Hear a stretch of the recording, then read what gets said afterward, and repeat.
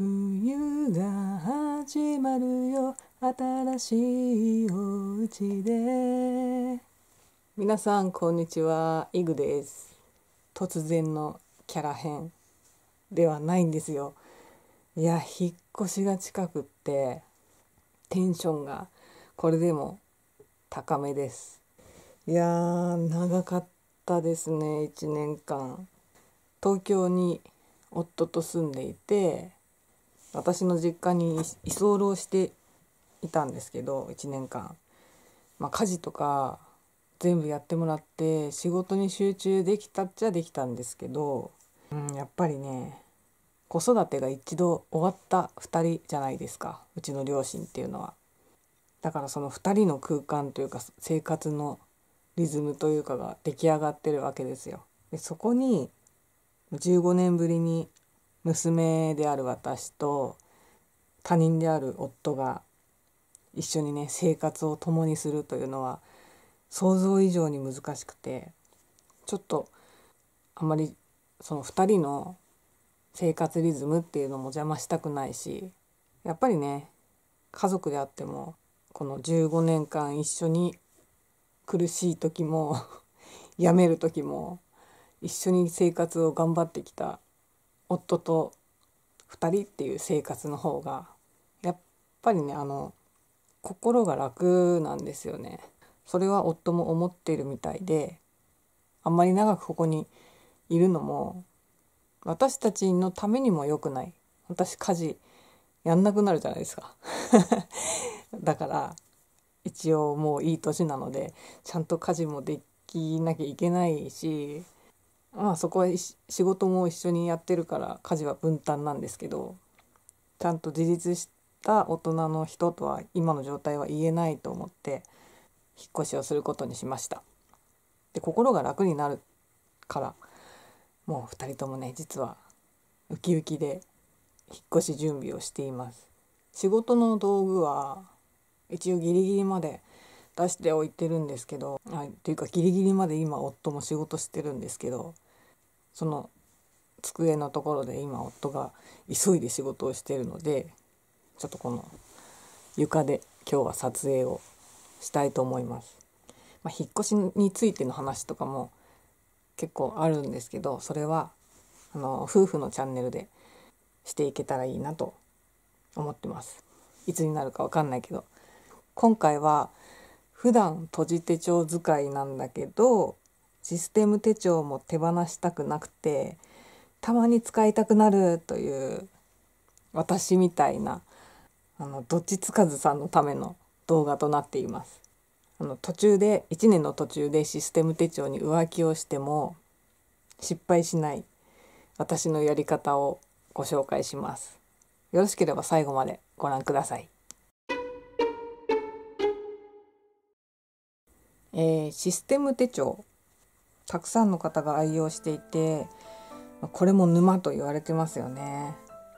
バインダーも本当にたくさんのブランドとかカラー大きさなどあります。大きさは自分に合ったものというのが大体決まっていると思うんですけどカラーとかブランドってどれも試してみたいっていう衝動に駆られますよね。本革のものになると経年劣化の色の変化とかも艶の出方とかも楽しみだしもし今新しくバインダーを買うとしたらって考えるだけでワクワクが止まらないですよね。私は普段閉じ手帳派なんですがやっぱりいろんな方のシステム手帳を見ていると自分も使いたくなってしまうんですよ。私には向いてないことも分かってるはずなんですけどつい使いたくなってしまうんですよねこれがシステム手帳の沼なのかと思うんですがそしてシステム手帳をね1年の途中で使い始めるのはいいんですがやっぱり自分には使いこなせなくて閉じ手帳に戻るんですよ。そうするとどんな困ったことが待っているかというとシステム手帳に浮気をしていたその例えば3ヶ月だとしたら3ヶ月分の記録っていうのが今までメインで使っていた閉じ手帳から抜け落ちてしまうんですよね。その3ヶ月間このシステム手帳を使っていたことによって私は閉じ手帳のパッと1年分見返せるところも好きなのですがその長所を失ってしまうことになるんですよね。そうならないためにはどうしたらいいかっていうと私のようなどっちつかずさんで結局閉じ手帳に戻ってしまう方とか逆にシステム手帳をメインで使っていて閉じ手帳に憧れる憧れて一回使うんだけどシステム手帳に戻ってしまう方に限ってしまうやり方なんですけどそれはメインで使っている手帳にも同じことを書いておくっていう初歩的なやり方になります。いやそんなことかよって思うかもしれないんですけど私は特に絶対に120%戻ってくるのでこれをやることでシステム手帳との戯れも楽しめてメインの手帳から記録が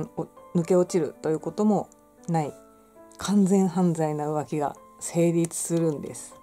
システム手帳に憧れるのに使ってみたら続かないっていう人は多分自分でアイデアを出すのが苦手な人だと思うんですよね。私がそうなんですけどあのフォーマットとしてある程度決められている方が使いやすい人。ある程度こう導かれてないと白紙でこうバインダーだけ出された時にどうしたらいいのかわからないってなってしまう人。っていうのはゼロから自分でカスタマイズできるっていうシステム手帳の良さをまあ あまり活かせないことになってしまって長所を短所に書いてしまうわけですよね。で2023年数ヶ月ですね私はシステム手帳を使ってたことがあっていつもよりは長く使えてて仲良くできてるなと思ってたんですけど結局閉じ手帳に戻りました仲良く暮らせていて不便さは感じなかったんだけど戻ってきたっていうことはどこかで合わない部分がどっかにね隠れてあったんだろうなと思ってます。あとねシステム手帳のバインダーもリフィルね。安いものではないので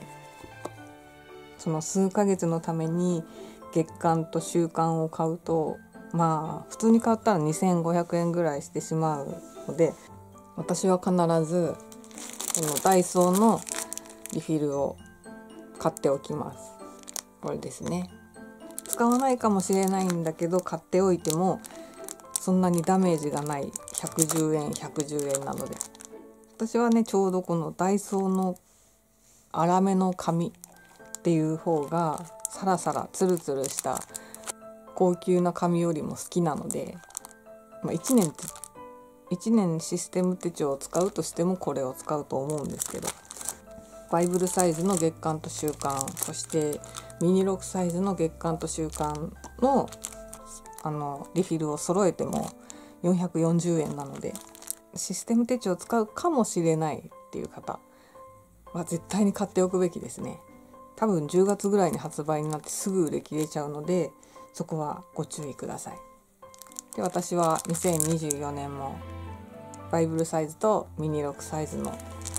これは用意してます。ちょっとあの荷造りしちゃってミニ6の分はないんで 今手元にないんですけど用意してあります。でミニ6はね96 90 95%ぐらいの確率で使わないんですけど一応買ってあります。バイブルサイズはどのぐらいの確率で使うかどうかわかんないんですけどいくら今ね2024年はサニー手帳で決まりだって言っていてもシステム手帳の魅力っていうのはすごいのでふらふらっと浮気してしまうこともなきにしもあらずということで。で月間週間とか以外の普通のメモ帳リフィルは割とたくさん入って安価で買えるのでいつでも買えるかなと思って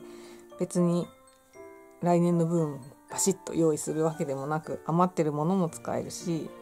なくなったら買い足せばいいかなっていう感じです。ちなみに私のお気に入りは黎明富士のあの111ってここに書いてる111枚入ってるシリーズの方眼方眼形ですね。あれも結構紙が粗い感じで大好きです。確か350円ぐらいかな。400円ぐらいかな。で私が持っているシステム手帳はカバン板垣さんのものがミニ6とバイブルサイズ。あとはロロマクラシック。2つの色ですね。赤とこれちょっと太陽の光の関係で緑っぽく見えるんですけどネイビーです。ネイビー。これはレッド。あとロロマクラシックはこのリング系の違いで2種類あるので1種類ずつ持ってるんですけど、えー、24ミリのものと15ミリのものを持っています。で過去の動画には他のバインダーが出てきてるかもしれないんですが今手元にあるのはこの4つとなっています。いろいろね使ってみたんですけど結局一番敬遠していたロロマクラシックが一番のお気に入りに今はなっています。これは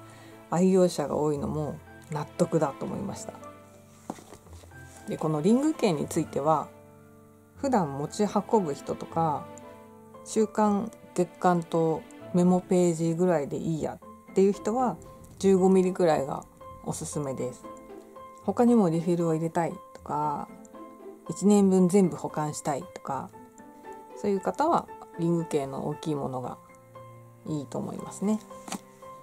でも 24mm ぐらいになると持ち運ぶのに結構気合がいるんですよね。持ち歩いてる人ももちろんいるんですけど仕事でね必要な人もいるだろうしあと皆さんが上手なデコレーションですかね。切ったり貼ったりして使う人はどんどんどんどんその分紙が重くなるのでそれを持ち歩きたいという人は結構な気合がいると思うので今月分だけとか2ヶ月分だけとか入れて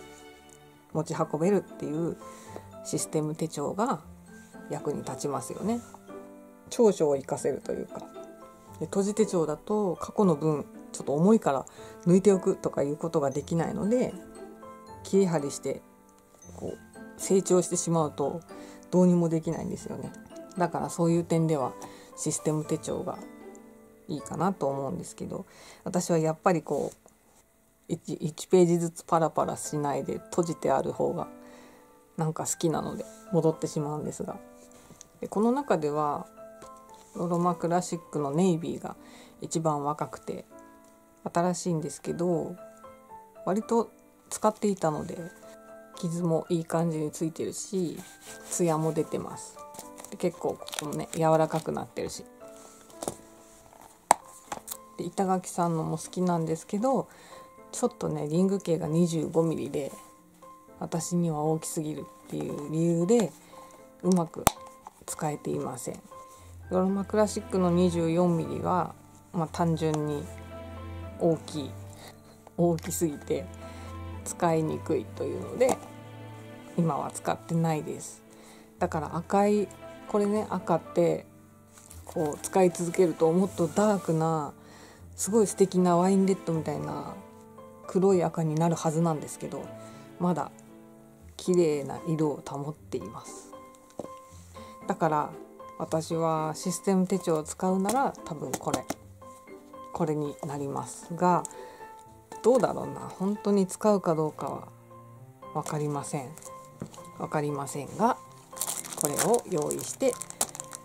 この子は出番を待ち望んでいるわけですよね。今まで過去に買って結局手放したっていうバインダーってなんかやっぱり愛着が湧かなかったんですよね。手放してもいいやって思えてしまう感じだったんですけどこの4つは使ってなくても手放したくない何かがあるんですよねだから今後この子たちを手放すことはないと思うんですけど使うかどうかはわからないという感じ、えー、何が言いたかったかというと 長くなりましたが閉じ手帳とシステム手帳をどっちも好きというどっちつかずさんはダイソーのリフィルをまず用意してこのシステム手帳でも閉じ手帳でも浮気をすしている間もメインの手帳にも同じことを書いておくメインの手帳も構ってあげるというか感じですね。といいよっていう話をしたかったんです。なんかねいつもにましてグダグダなんですけど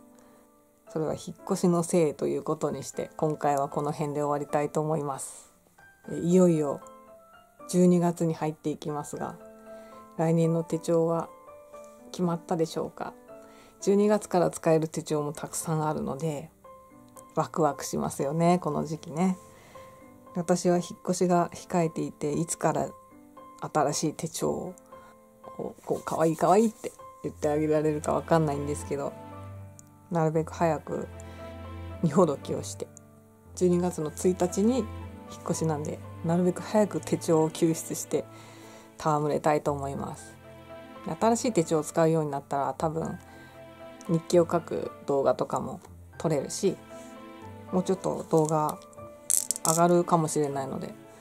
もし待っていただける方がいれば待っていてほしいなと思います。はいということで今回の動画はここまでにします。最後までご覧いただきありがとうございました。次の動画でまたお会いしましょう。イグでした。バイバーイ。